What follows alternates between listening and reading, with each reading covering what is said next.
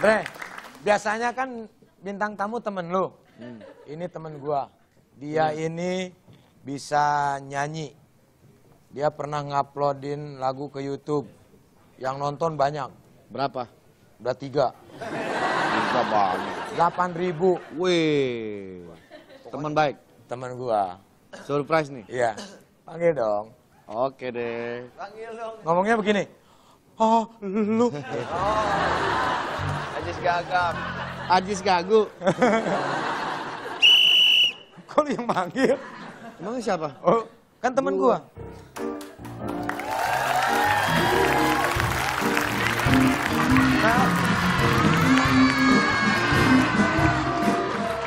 Halo Pak Andre, Halo. Makasih loh. Makasih saya udah diundang ke rumah Om Andre. Rumah Makasih gue, juga. rumah gue. Ini pembantu bukan Rumah gue.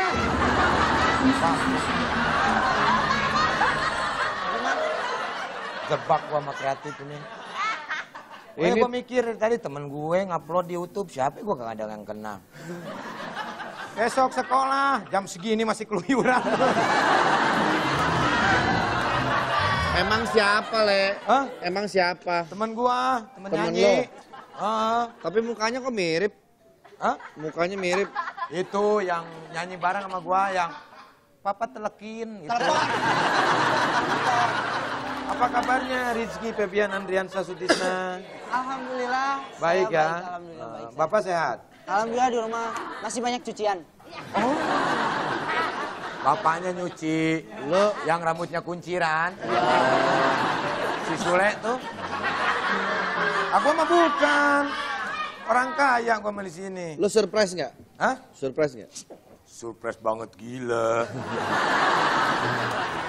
Biasanya Ki, kalau ayah itu orangnya suka ikut-ikutan nggak? Kalau lagi gaul, Iki lagi sama teman-teman nih, Oh.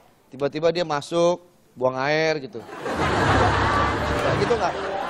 Enggak sih kalau ayah orangnya kalau di rumah tegas sih orangnya pendiam juga kalau di rumah nggak pernah ngelawak. Yang kayak begitu tegas.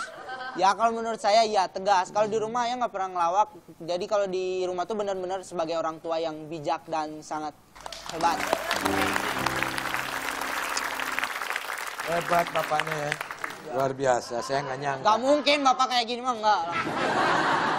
Ya terang aja deh nggak ngelawak di rumah orang nggak ada duitnya.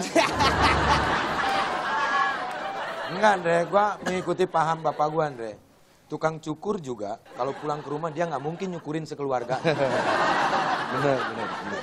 Lu bayangin, kalau gua seorang pelawak, misalkan harus ngelawak di rumah, bayangin tukang cukur gimana nasibnya keluarganya. Nyampe bininya botak semua dicukurin. Ayo.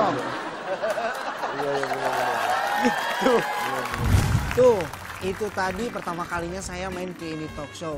Untuk surprise buat Ayah dan juga Om Andre. Tapi itu masih ada kelanjutannya. Setelah itu Ayah banyak bener-bener dikerjain oleh Om Andre. Penasaran kan kayak gimana dikerjainnya? Ini dia.